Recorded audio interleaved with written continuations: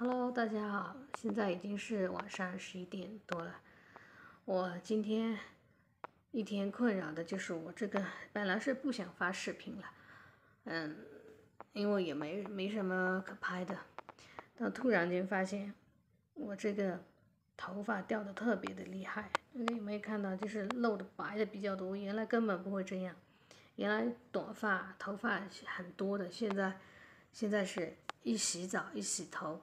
然后就是今天下午我在家里面洗了一个头洗澡，然后那头发就是掉了好多，反正望着都是有点害怕，不知道是要要怎么办？你们有没有什么偏方或者是嗯什么嗯秘方告诉我一下？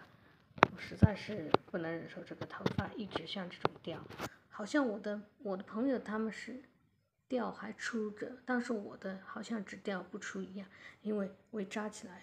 这里都是空白的，这里差不多感觉叫秃顶一样。我在想，我这个头发掉的这么厉害，是不是药吃多了？就是各种药，还是因为我跟心情有关系？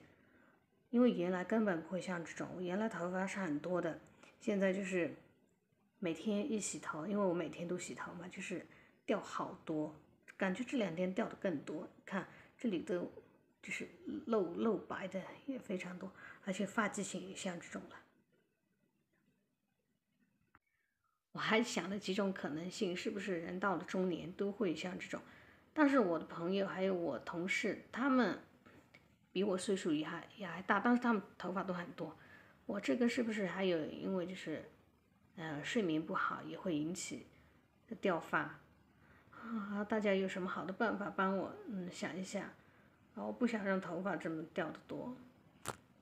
原来我也用过那个什么姜的洗发水，说是治脱发的，但是好像没多大的作用。嗯，现在现在就是特别厉害掉头发。啊，我今天晚上又睡不着了。为了我这个头发，大家有什么好的嗯意见？嗯，麻烦告诉我一声，谢谢各位了。我还是要准备睡觉了，因为明天还要早起，最后一天上班。